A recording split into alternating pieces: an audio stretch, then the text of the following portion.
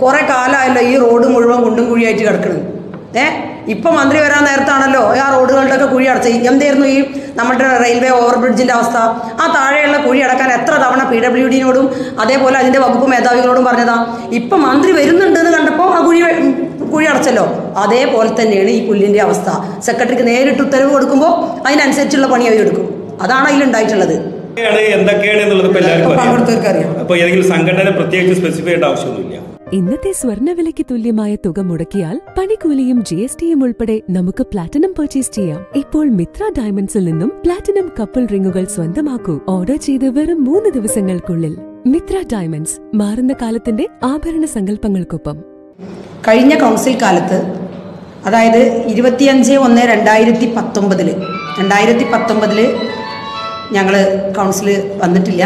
അന്ന് നമ്മളുടെ മുൻ ചെയർമാൻ കെ ബാബാസാഹിബായിരുന്നു ചെയർമാനായിരുന്നത്.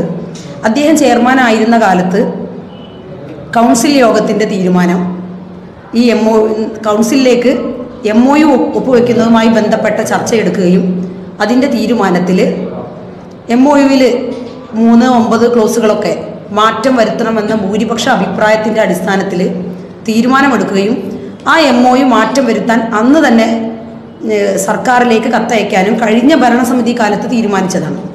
അത് സർക്കാരിലേക്ക് കത്തയച്ചു. പക്ഷേ അത് അപ്പോൾ അന്ന് അന്നത്തെ കായിക മന്ത്രിയുടെ റിപ്പോർട്ടുണ്ട് ആ ഫയലിൽ ഇരിക്കുന്നുണ്ട്. അദ്ദേഹം പറയുന്നുണ്ട് നഗരസഭയ്ക്ക് മാത്രമായിട്ട് ഈ എം ഒ യുവിൽ മാറ്റം വരുത്തി തരാൻ കഴിയില്ല എന്നത്. എം ഒ യു ഒപ്പുവെച്ച് ഏറ്റെടുത്ത സ്റ്റേഡിയങ്ങളൊക്കെ ഇന്ന് വളരെയധികം പ്രയാസത്തിലാണ്. സാധാരണക്കാർക്ക് ഉപയോഗിക്കാൻ പറ്റാത്ത കാര്യമാണ്. അതുകൊണ്ട് തന്നെ എനിക്ക് ഈ ഒരു കാര്യം പൊതുജനങ്ങളെ അറിയിക്കേണ്ടത് അത്യാവശ്യമാണ്. അതുകൊണ്ട് ഞാൻ ഒരു കാര്യം ചെയ്യുകയാണ് പത്രക്കാർക്ക് ഇതിന്റെ കോപ്പി നിങ്ങളെല്ലാവരും ഇതിന്റെ കോപ്പി ഒന്ന് എല്ലാവരും ഇതൊന്ന് എടുത്തിട്ട് പരിശോധിക്കണം.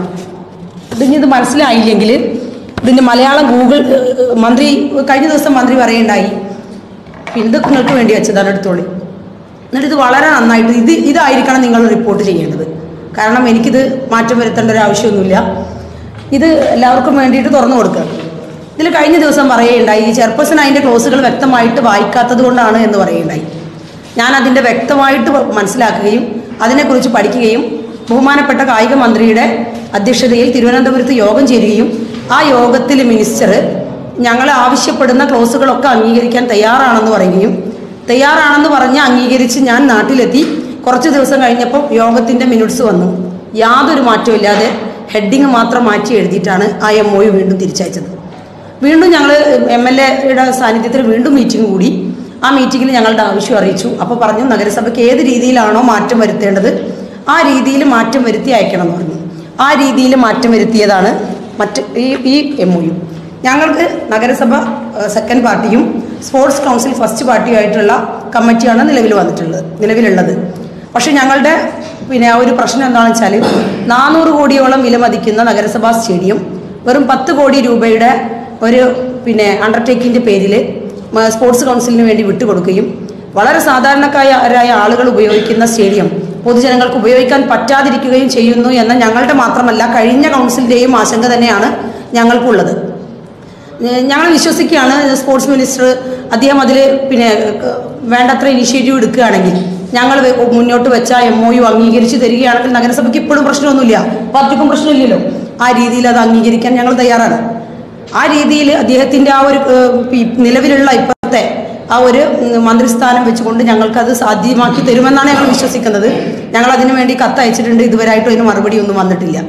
പിന്നെ കുറേ ആളുകൾക്ക് മുമ്പിൽ നമ്മൾ സ്റ്റേഡിയത്തിന്റെ അവിടെ വന്നപ്പോൾ നഗരസഭക്ക് പത്ത് കോടി കൊടുത്തിട്ടും എടുക്കായിയാണെന്ന് പറഞ്ഞിട്ടുണ്ട്. ഇതുവരെയായിട്ട് നഗരസഭയ്ക്ക് പത്ത് കോടിയൊന്നും അനുവദിച്ചിട്ടില്ല. എം ഒ യു ഒപ്പ് വെക്കാതെ തരികയില്ല. ഈ എം ഒ യുവിലെ ക്ലോസ് മാറ്റി തരാതെ ഞങ്ങളത് പിന്നെ ആ കാശ് ഉപയോഗിച്ച് നവീകരിക്കാനും നഗരസഭയ്ക്ക് പ്രയാസമുണ്ട്. മാത്രമല്ല ഇപ്പോൾ ഇവിടെയുള്ള ഏറ്റവും വലിയ പ്രയാസം എന്താ വെച്ചാൽ നിങ്ങളൊക്കെ റിപ്പോർട്ട് ചെയ്തതാണ്. മന്ത്രിയുടെ മണ്ഡലത്തിലെ പോലും ആളുകൾ പിന്നെ ഈ ഈ സ്റ്റേഡിയമാണ് ഇപ്പോൾ കേരള കേരളോത്സവമായാലും മറ്റ് സ്പോർട്സ് പരമായിട്ടുള്ള പ്രവർത്തനങ്ങൾക്കായാലും താനൂർ മുനിസിപ്പാലിറ്റിയും താനൂർ ബ്ലോക്കും ഒക്കെ നഗരസഭയുടെ ഈ സ്റ്റേഡിയമാണ് ഉപയോഗിക്കുന്നത്. താന്നാളൂർ പഞ്ചായത്ത് താനൂർ മണ്ഡലത്തിലാണല്ലോ. താന്നാളൂർ പഞ്ചായത്തിലെ കേരളോത്സവം നടന്നത് നിങ്ങളെല്ലാവരും കണ്ടിട്ടുണ്ടാവും. ആ പാലത്തിന്റെ ചുവട്ടിൽ ഒരു പാടത്ത് വെച്ചാണ്. ആ മണ്ഡലത്തിൽ പോലും നല്ലൊരു സ്റ്റേഡിയം ഇല്ല ഇനി ഉള്ള സ്റ്റേഡിയം ഇതിപ്പം പൊതുവെ ജനങ്ങൾക്ക് ഉപയോഗിക്കാൻ പറ്റുന്നുണ്ട്. ഇവിടെ ഇപ്പം പ്രാഥമിക സൗകര്യങ്ങൾക്കുള്ള ഭയങ്കരമായിട്ടുള്ള പ്രശ്നമുണ്ട്. കഴിഞ്ഞ കൗൺസിൽ കാലത്ത് അഞ്ച് വർഷം ഒന്നും ചെയ്തില്ല. ഒരു ടോയ്ലറ്റ് എങ്കിലും ഉണ്ടാക്കുകയാണെങ്കിൽ അല്ലെങ്കിൽ നിലവിൽ സീമമുട്ടി എം എൽ എ നാലര കോടി ഉപയോഗിച്ച് നിർമ്മിച്ച സ്റ്റേഡിയം ഒന്ന് മെയിന്റനൻസ് നടത്തി നവീകരിക്കുകയെങ്കിലും ചെയ്യുമായിരുന്നെങ്കിൽ കഴിഞ്ഞ കൗൺസിൽ കാലത്ത് ഒരു ടോയ്ലറ്റ് പവലിയൻ ഉണ്ടാക്കിയിരുന്നെങ്കിൽ ഇത്രയൊന്നും പ്രയാസം ഉണ്ടാവില്ലായിരുന്നു. പക്ഷേ ഒന്നും ചെയ്തില്ല. എന്നായാലും ഞങ്ങളിപ്പോൾ അവിടെ ടോയ്ലറ്റുകളും പവലിയനും ഉണ്ടാക്കാൻ ടെൻഡർ കൊടുത്തിട്ടുണ്ട്. ഒരു കരാറുകാരൻ അത് എടുത്തിട്ടുണ്ട്. തൊട്ടടുത്ത ദിവസങ്ങളിൽ അതിലേക്കുള്ള പ്രാഥമിക സൗകര്യങ്ങൾ നഗരസഭ ഒരുക്കുന്നുണ്ട്.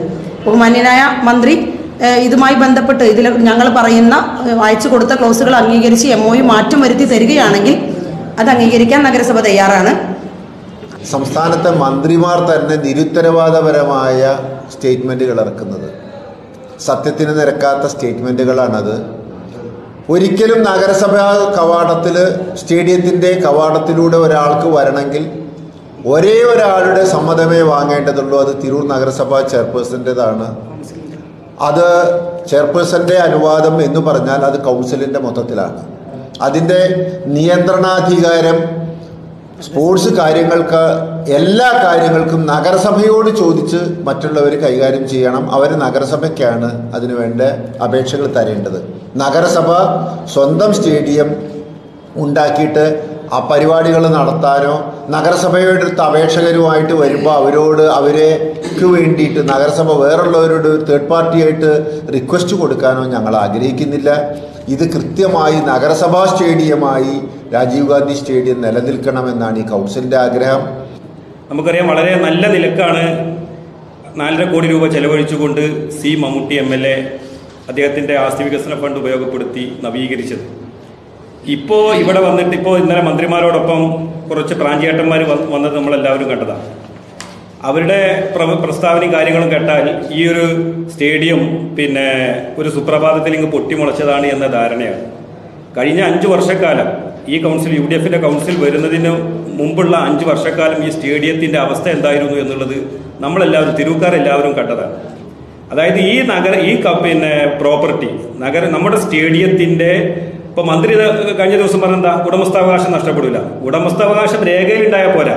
ഉടമസ്ഥാവകാശം അത് പ്രായോഗികവൽക്കരിക്കപ്പെടണമെങ്കിൽ ഉടമകൾക്ക് അതിലേക്ക് കയറണമെങ്കിൽ സ്പോർട്സ് കൗൺസിലിന്റെ തിട്ടൂരം കിട്ടണം അനുമതി കിട്ടണം എന്ന് പറഞ്ഞാൽ പിന്നെ കടലാസിൽ ഉടമസ്ഥാവകാശം ഉണ്ടായതുകൊണ്ട് കാര്യമില്ല. അപ്പൊ അത് തെറ്റിദ്ധരിപ്പിക്കുകയാണ് മന്ത്രി അടക്കം ചെയ്യുന്നത്. നഗരസഭ പറഞ്ഞ രൂപത്തിൽ പൂർണമായിട്ടുള്ള അധികാരങ്ങൾ നഗരസഭക്ക് കിട്ടുന്ന രൂപത്തിലുള്ള എം ഒ യു ഭേദഗതി നഗരസഭ നൽകിയ ഭേദഗതി അംഗ- അംഗീകരിക്കുകയാണെങ്കിൽ തീർച്ചയായും ഈ ഫണ്ടുമായിട്ട് ബന്ധപ്പെട്ട അതിന്റെ പ്രവർത്തനങ്ങളുമായി മുന്നോട്ട് പോകും. ഇല്ല എങ്കിൽ എം എൽ എ ഫണ്ട് ഉപയോഗപ്പെടുത്തിക്കൊണ്ടും മറ്റു സോഴ്സുകൾ ഫണ്ടിന്റെ സോഴ്സുകൾ വേറെ പല രൂപത്തിലുള്ള സോഴ്സുകളുണ്ട് അതൊക്കെ ഉപയോഗപ്പെടുത്തിക്കൊണ്ട് തിരൂർ സ്റ്റേഡിയത്തിന്റെ നവീകരണം തീർച്ചയായിട്ടും ഈ കൗൺസിലിന്റെ കാലാവധിക്കുള്ളിൽ തന്നെ ഞങ്ങൾ പൂർത്തി കേന്ദ്ര ഗവൺമെന്റ് അംഗീകൃത സർട്ടിഫിക്കറ്റോടെ ഇനി സ്മാർട്ട് ഫോൺ ടെക്നീഷ്യൻ കോഴ്സ് പഠിക്കാം. കുറഞ്ഞ ഫീസിൽ മികച്ചൊരു തൊഴിൽ അല്ലെങ്കിൽ സ്വന്തമായി ഒരു ബിസിനസ് കണ്ടെത്താൻ ഇതാ ഒരു സുവർണാവസരം. പ്ലാനറ്റ് മൊബൈൽ റിസർച്ച് യൂണിറ്റ് എന്റെ ഇഷ്ടങ്ങൾ എന്റെ ഫാമിലിക്ക് അറിയാം family wedding centre Kunnamangalam Vadakara Manjeri Meppadi Tirur Perinthalmanna and U A